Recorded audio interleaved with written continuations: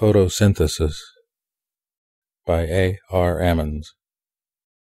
The sun's wind blows the fire green, sails the chloroplasts, lifts banks, bogs, boughs into flame, the green ash of yellow loss.